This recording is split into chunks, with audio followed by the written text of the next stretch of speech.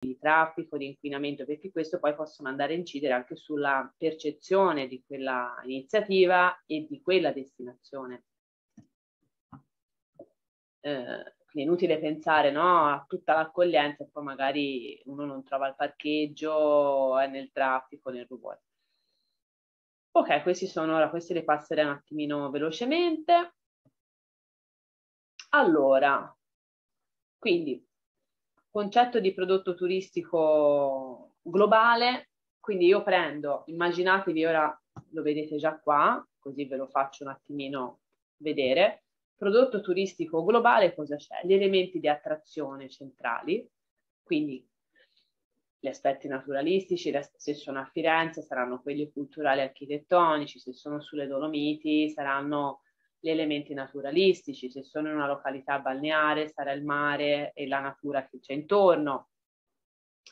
E se si tratta di un'iniziativa di cibo sarà il cibo il prodotto tipico con la tradizione non gastronomica, il vino eccetera e le cose intorno. Più ci sono i servizi e le facilities presso la destinazione o eh, il transito, quindi i mezzi di trasporto ed elementi per raggiungere quella destinazione, l'immagine e l'informazione. Mentre il, il prodotto turistico specifico è un po' questo, però è più concentrato. Core service, servizi accessori e periferici. Come vedete è questo, no? Quindi immaginatevi di avere un nucleo centrale, che è l'aspetto principale, e mano a mano ci si allontana con tutti quelli che sono i servizi strettamente connessi, i servizi connessi ma che lavorano più in autonomia, quelli offerti dagli altri operatori e poi l'ambiente e le infrastrutture, perché anche questo vuol dire, cioè io posso essere la realtà privata o pubblica più competente, faccio un'iniziativa top stratosferica, però ehm, i mezzi di comuni- i mezzi dell'infrastruttura, le strade di quella località che non dipendono da quell'ufficio, da quell'azienda, sono pessime, non ci sono parcheggi, non ci sono mezzi di trasporto, oppure l'ambiente è sporco, cioè si tratta di altre, no, non riesci a, a governarle, no? mai a che fare, cioè devi, devi, devi tenerle in conto perché incideranno sulla percezione e la fruizione del tuo, eh, del tuo servizio. C'è qualcun altro che intanto si è entrato. Buongiorno, scusate, c'è una persona. Salve, buongiorno.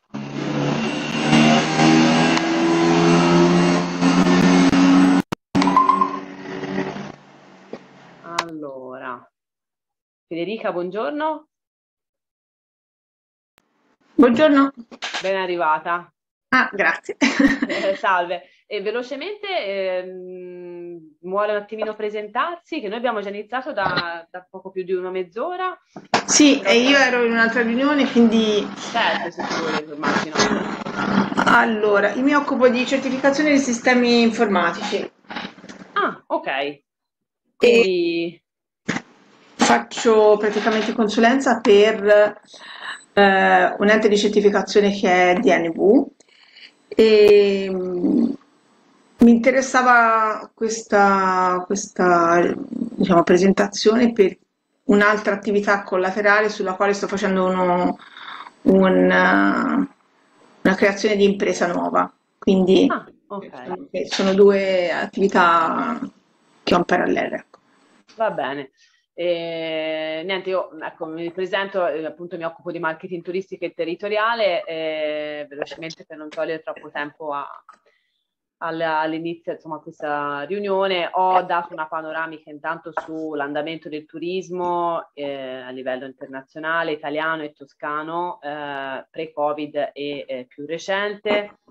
Ho sottolineato l'importanza di gestire, avere consapevolezza degli andamenti, delle presenze, degli arrivi nei mesi o negli anni nelle aree di, in cui si opera o comunque nei mercati di riferimento, questo è importante per pianificare bene ho definito il concetto di impresa turistica con le sue caratteristiche, adesso siamo sul discorso del prodotto turistico, qui fa vedere un attimo il nucleo centrale che è il core business di un'azienda, di un'impresa, di un prodotto e poi mano a mano i servizi strettamente connessi, eh, meno connessi e poi quelli offerti dagli altri operatori che diciamo eh, contribuiscono poi alla, all'offerta del prodotto turistico e alla sua percezione e fruizione. Ok, io vado avanti, poi avete domande ovviamente sono qua. Quindi vedete no, com'è complesso, cioè qui c'è sopra un territorio con il turista, interagisce, il territorio offre eh, un qualcosa, il turista acquista o consuma quel qualcosa ed è in qui che c'è interazione tra il turista e il territorio e si arriva al prodotto turistico globale. Um, questo è il concetto di turista che ora non ci sto a ritornare sopra, ma l'avevo accennato prima, che è chi per notte sta più di 24 ore in un luogo diverso da quello di residenza, qualunque sia il motivo, ovviamente in molti casi è per divertimento, ma sicuramente ha un indotto poi economico anche sul luogo di destinazione. L'escursionista è colui che nelle 24 ore, come dice consumatore frugale, torna poi nel luogo di residenza. E anche questo può essere un escursionista per motivi di lavoro, o di vacanza, di viaggio, eccetera. Ovviamente noi ora si parla più di un turista. Allora, come si collega poi il marketing, ed è qui poi no, eh, che c'è l'interesse a questo seminario. Scusate, mi devo, scusate. Eh. Ok. Allora, allora eh, a me qua piace inserire il concetto di marketing perché eh, fatto questa panoramica, il marketing è una delle leve strategiche più importanti, direi, all'interno di un'azienda, all'interno di un ente, di un ente pubblico, se si vuole avere dei risultati. Quindi marketing è strategia, ok? Marketing, come eh, vedete ehm, e vedrete, non è eh, assolutamente una cosa semplice, il marketing è una cosa che è basata sui numeri, sulle analisi, eh, che incide sulla determinazione e l'ideazione del prezzo di un'attività, di un servizio, che incide sulla sua promozione, la sua distribuzione, che incide sulla comunicazione dell'immagine dell'azienda, dell'ente che produce quel, organizza quell'iniziativa o quel prodotto e del prodotto, del servizio stesso. Ovviamente parlo di prodotto, prodotto turistico, ok? Quindi è una leva fondamentale aziendale, spesso sottovalutata, ma in realtà eh, è molto più importante di altre. Un po' al pari di un ufficio produzione, no? Che produce, cioè è un po' come dire io produco eh, la Ferrari, sono la Ferrari, produco un nuovo modello di Ferrari, è importantissimo che l'ufficio progettazione, ingegneria, eccetera, lavori al meglio per dare un prodotto ottimale, all'avanguardia, che funzioni, che non abbia difetti, ma se c'è sta lì e non c'è un ufficio strategico e marketing per promuoverlo, se ne, se ne ottengono pochi risultati, ok? Quindi è al, è al pari spesso lavorano insieme, cioè devono lavorare insieme in sinergia, in forte comunicazione e coordinamento. L'obiettivo cos'è? È creare uno scambio tra imprese e mercato, creare eh, diciamo dei prodotti che soddisfano le imprese, nel senso che ti danno un ritorno economico e soddisfano il mercato, quindi il cliente in modo da fidelizzarlo, da diffondere eh, quella che è l'immagine e ora lo vedrete. Allora, il marketing può essere, ovviamente io parlo, fermatevi perché io vado a raffica, cioè ne ho mille di cose da fare, il tempo è e ce ne avrei ancora tante di più, quindi sto concentrando, ma cioè, si può togliere spazio un minuto su una cosa e approfondire un'altra, se avete dubbi, se non vi è chiaro, se dico cose che già sapete le schippo, ditemele quindi qui ci sono eh, due aspetti diversi del marketing, cioè il marketing strategico è, quello, è un po' come vi ho detto prima, cioè analizzare in maniera sistematica i bisogni del mercato, ehm, sviluppare nuovi prodotti che siano competitivi rispetto ai concorrenti eh, e che abbiano elementi distintivi, creare un vantaggio competitivo, pianificare in qualche modo la strategia, dove voglio andare, la vision, la mission, gli obiettivi e invece poi c'è il marketing operativo, che è quello che attua concretamente ciò che in fase strategica si è eh, definito. Ok? Quindi ovviamente guardando un po' di più in maniera applicativa al mercato. Quindi il marketing strategico dirà che voglio ottenere um, un obiettivo di 100.000 visitatori con il 10% eh, con la comunicazione di budget, il 5% sulla stampa, il 10% su questo, eccetera, avere un prezzo medio X piuttosto che avere una vision che mi dà un'immagine di tutela ambientale oppure ehm, riposizionarmi sul mercato perché sono un hotel vecchio che non, non, ho più un'immagine che è adeguata al mercato, quindi voglio rinfrescare no?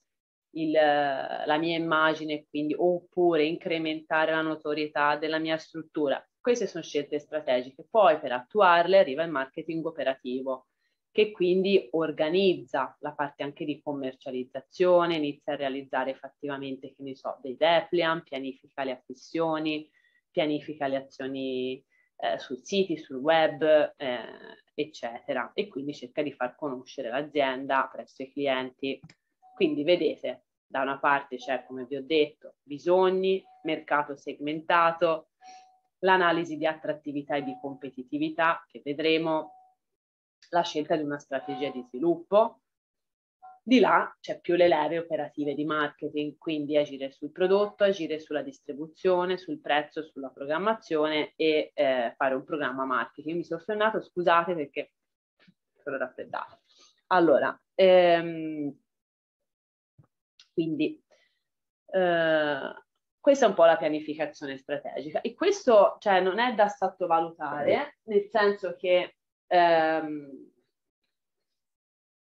che a volte uno dice, no, eh sì, lavoro, faccio per, eh, dico per il dottor Corsini magari, no, lavoro in un ente pubblico, tanto devo fare un'iniziativa X, eh, che ne so, la, la, la sagra oppure il concerto. E in realtà è importante eh, mh, capire quali sono gli obiettivi eh, e i mezzi con cui si vuole raggiungere determinati obiettivi, quindi avere una vision magari del reparto dell'azienda. Quindi capire gli obiettivi, capire quali sono le azioni da intraprendere per raggiungerle e quali sono le risorse necessarie o comunque anche quelle che ho a disposizione da poter usare e, eh, e, definire in questo modo una vision e una mission, ok? Quindi pianificare. Ovviamente sono cose che devono essere sempre rivisitate, cioè non è che io definisco oggi una vision, una mission degli obiettivi e li tengo lì per dieci anni. Cioè, periodicamente, ogni anno, ogni fine anno, devo ripensarci, rivalutarli, poi posso confermarli oppure cambiarli del tutto o eh, in parte, no? Anche le azioni, anche al raggiungimento dello stesso obiettivo possono cambiare poi le azioni, perché all'inizio, il primo anno posso fare delle azioni che poi il secondo, per il raggiungimento dello stesso obiettivo dell'anno prima, possono essere diverse. Vi è chiaro questo? Elia? Federica? Ci siete? Sì. Ok, ok. Okay. Esempi magari. Costruzione del prezzo di un servizio, eccetera. Più okay, avanti. Sì. sì, sì, più avanti. Allora, qua... Eh... Dunque, praticamente qui c'è un po' il concetto di vision e di mission. Qualcuno di voi mi vuole provare a spiegare qual è la differenza? Credetemi che non sono cose banali. Mm, sono cose fondamentali da, da aver ben chiare all'interno di un'attività. Cioè, o magari, per esempio, io immagino Corsini o Marini, se sono dipendenti, diciamo, no, di una realtà più grande, hanno un loro reparto di riferimento dove lavorano. Però sapere la vision e la mission del proprio reparto, la vision e la mission della struttura in cui lavorano è importante, perché consente di fare azioni che sono in linea con eh, poi con le azioni di vision aziendale più grossa. Comunque ecco, la vision consente è un po' eh, cercare di guardare eh, lo scenario futuro dell'impresa definendo negli obiettivi a lungo termine i valori che si vogliono aziendare aziendali che si vogliono. Quindi ovviamente deve tener conto, ecco che vi dicevo, dell'andamento del mercato e quindi come vede, vedete devi anche definire quelli che sono dei tempi per realizzarlo, ok? La, mh, mm, la mission è più, eh, e dopo lo vedremo, è più eh, raggiungo, eh, cioè io voglio avere la, la missione in qualche modo di eh, avere un'immagine che è più orientata all'ambiente, alla tutela dell'ambiente, al sociale, Questa è più una e è a più breve termine.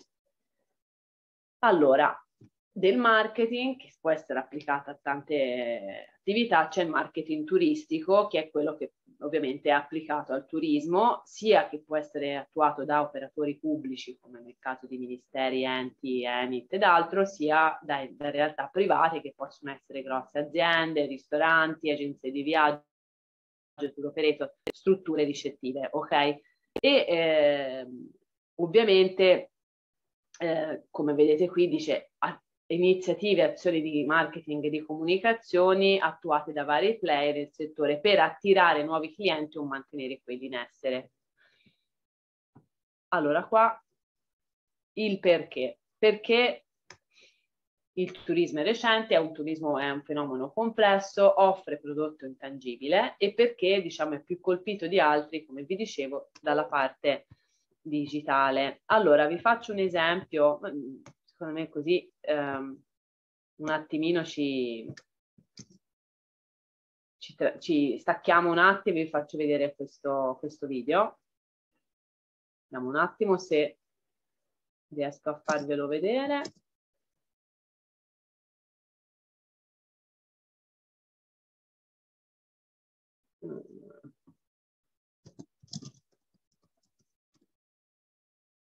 Mm solo. Allora.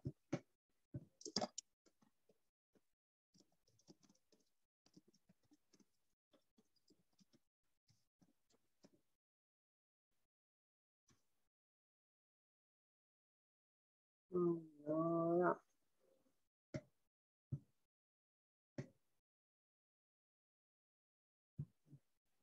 Ormai non viene.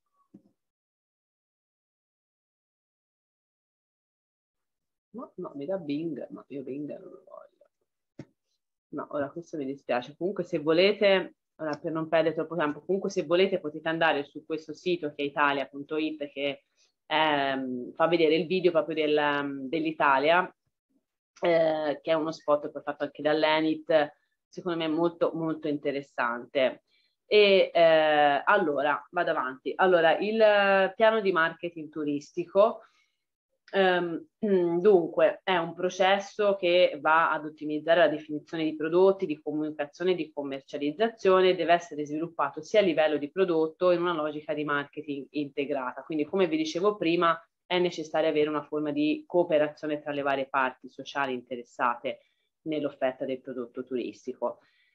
Allora, ecco qua un attimino quelle che sono le varie fasi operative del piano, ok? Quindi io voglio sviluppare, eh, svilupparmi a livello turistico, quindi analizzerò la mia situazione e quella dei concorrenti, analizzerò la domanda attuale e potenziale ai vari segmenti e definirò gli obiettivi di sviluppo, cioè io dico voglio crescere del 10% di fatturato in un anno, due, tre. Oppure non è quello la leva, ma voglio incrementare la notorietà della mia immagine, oppure fidelizzare i turisti, oppure incrementare il mercato internazionale perché quello interno ce l'ho già. Questi sono definizioni degli obiettivi. E poi dovrò decidere sia i prodotti da realizzare, da diffondere, che i segmenti in cui operare. Quindi il mercato è un, immaginatevi, è una palla, è un cerchio, io segmento questo, merc- questo, questo, mercato, lo, lo, divido in base a delle caratteristiche che accomunano no, alcune di queste aree e individuo uno, due, tre segmenti in cui operare. Quindi ci sarà il segmento so, della scuola, il segmento degli stranieri, il segmento delle famiglie, oppure il segmento dei single, eccetera. Capire il posizionamento che voglio avere, cioè mi voglio, voglio per esempio, dico, decido un posizionamento alto cioè io eh, voglio essere di nicchia nel mercato di lusso, voglio avere un'immagine stra elegante di lusso con prezzi elevati, eccetera. Eh, rappresentare il lusso, il benessere, voglio essere più una cosa a portata di chiunque, a più basso prezzo, easy, low cost, eccetera. E decido gli obiettivi e le strategie, in questo caso a medio termine, per ognuno di questi. E poi, per esempio, ecco, questi sono degli esempi, no? Ehm, cioè io voglio avere, eh, diventare più competitivo rispetto all'offerta, decido delle linee eh, su come aumentare la mia competitività. Voglio eh, incrementare invece la parte di promozione, quindi programmerò la commercializzazione e la comunicazione del, ehm, dei miei prodotti e dei miei servizi.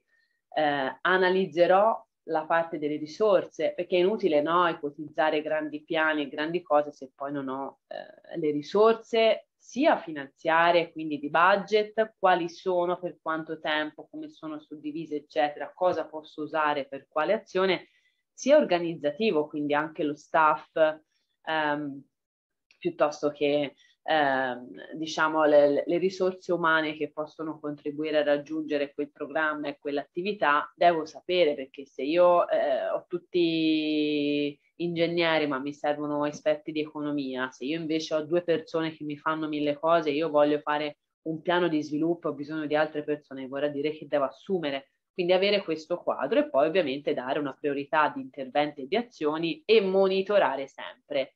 Una cosa fondamentale nelle attività economiche tutte, nel marketing in particolare, è monitorare continuamente. Quindi non non lasciare, cioè se io ho un obiettivo di un anno, non lascio una campagna andare avanti un anno senza dopo un mese monitorare. Io ogni mese, ogni tot farò un report, vedrò come, come sta andando e dove sto andando, perché in questo modo mi riduce il rischio di impresa e io posso eventualmente ritarare eventuali azioni, quello che è possibile. Cioè immaginate di fare una campagna marketing eh, spendendo decine di migliaia di euro su varie leve e io inizio a, a utilizzarle tutte.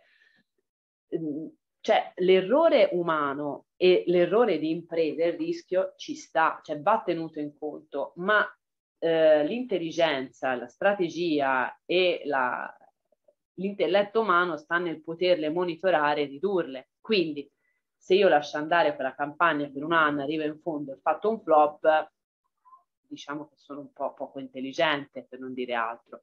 Se io ogni mese monitoro l'andamento di quella campagna, di quell'azione, riesco a vedere se a quel 30 di, di giugno e poi al 31 di luglio, eccetera, per il momento sto avendo i risultati che voglio. Se sono in linea, proseguo. Se c'è un qualcosa che non, eh, che non mi dà quello che voglio, vedete, definizione del controllo dell'efficacia degli interventi, se non mi dà quello che voglio, dove posso, posso raddrizzare. È chiaro, se ho già impiegato tutto, non posso, ma se c'è una cosa che non mi funziona, posso cercare di agire per modificare e rindirizzarmi.